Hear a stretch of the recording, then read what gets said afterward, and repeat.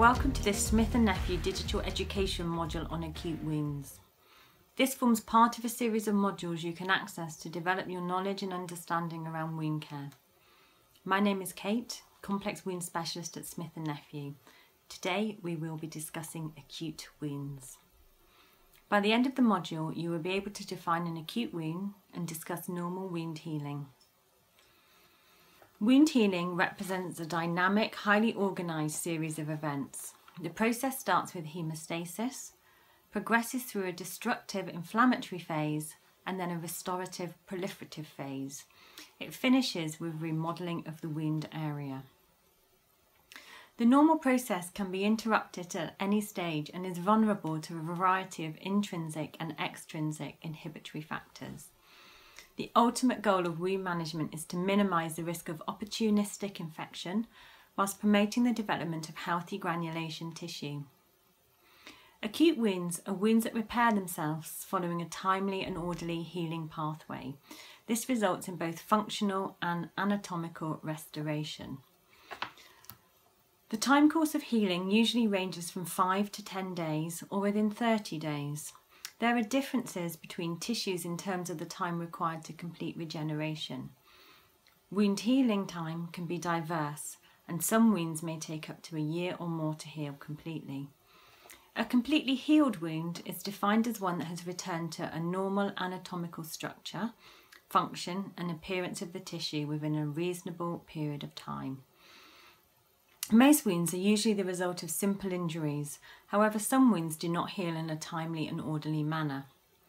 Acute wounds can be acquired as a result of traumatic loss of tissue or a surgical procedure. Wounds can arise from pathological processes that begin in externally or internally within the involved organ. They can have an accidental or an intentional etiology, or they can be the result of a disease process. Acute wounds can be defined in two categories, either traumatic or iatrogenic. Traumatic are unintentional wounds, with some examples being abrasions, skin tears and burns. Medical intervention will sometimes result in acute wounds and these are known as iatrogenic wounds. Examples of these are skin grafts, IV puncture sites. Acute wounds begin with an injury that disrupts the blood supply, followed by blood clotting, which stimulates the release of growth factors that initiate the wound healing cascade. The behaviour of the cells that play a vital role in wound healing is determined by the current state of the wound. This slide gives an overview of the ratios of the different cells and how they apply to acute and chronic wounds. Fibroblasts are often premature and chronic wounds which disrupts their normal functioning. The main difference, though, between acute and chronic wounds is the rate of healing. The time to chronic wound healing is significantly delayed, going on in some cases to become larger due to the high level of proteases. Healing by primary and secondary intention. Primary intention. The wound edges have been closed using sutures, staples, wound adhesive or paper adhesive strips. For example, clean acute surgical wounds. Secondary intention. Wounds are left open to heal. This is usually done by dressings. For example, abscesses, pilonidal sinuses. Pre-surgery assessment is crucial to ensure that acute incisions go on to heal without the risk of dehiscence. A number of factors need to be considered and include procedure type, whether the surgery is elective or in an emergency, how acute or ill the patient is prior to surgery, how clean the surgery is, is there an adequate blood supply, and what is the patient's nutritional status. You can see in the picture that this wound has gone on to dehisce, causing a multitude of problems both clinically and for the patient. This wound is now complex and needs a full assessment along with appropriate treatment.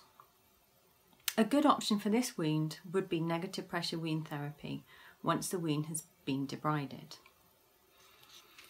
A skin tear is a traumatic wound caused by mechanical forces, including removal of adhesives. Severity may vary by depth, not extending through the subcutaneous layer.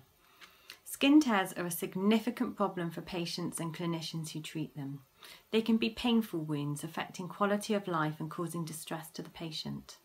Skin tears may increase the likelihood of hospitalisation and prolong hospitalisation time.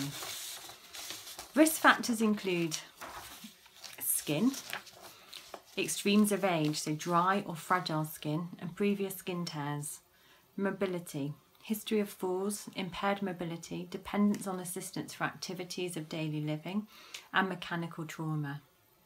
General health, comorbidities, polypharmacy, impaired cognition, sensory, visual, and auditory, and also malnutrition.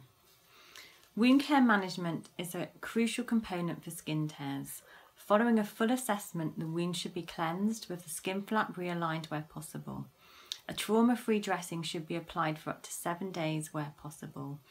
Always remove the dressing going away from the skin tear to prevent further trauma. To check your knowledge and understanding, try and answer the quiz questions.